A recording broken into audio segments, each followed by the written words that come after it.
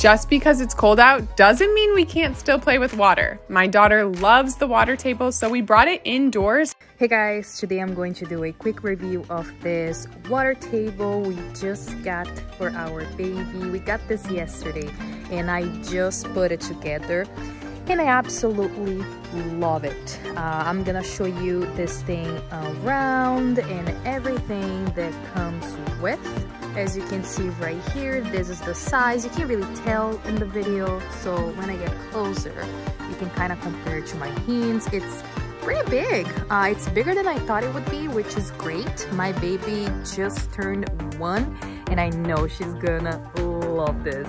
It was really easy to put together. I put it together myself and one thing I was actually uh, very surprised this is so sturdy and secure.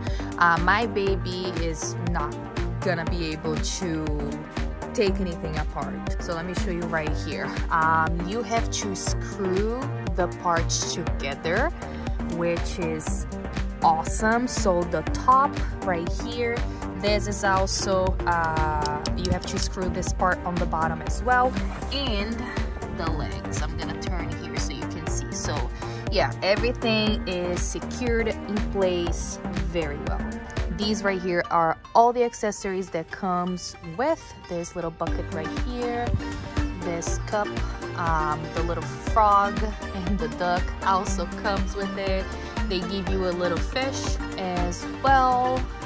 Um, right here they have this little waterfall wall uh, which I think it's pretty cool and I know my daughter is gonna love it. So you can pour the water right here inside of this big hole and when it falls down this thing you know will work. But yeah I love this table and I can't wait to use it with my daughter. Hey everyone, so this is my son's water table. Um, the water table comes with everything that you see here, plus there's a couple extra toys that we may have misplaced. Um, but it was not hard to put together at all. I put it together myself, it didn't take long. Um, and we just keep it together like this and store it in the garage. But um, yeah, my son loves this thing. It's lots of fun. Um, has like all kinds of things for them to spin. Um, and then the water comes down through here if you put it up in this table. The waterfall part is my son's favorite part. Water comes down through there. Um, and then yeah, it just has like places to store the buckets and the cups. You can put the handles like these things. This is for um, like launching the animals into the water. Um, but yeah, there's just a lot of different things on it to do and he has lots of fun with it. So it's lots of entertainment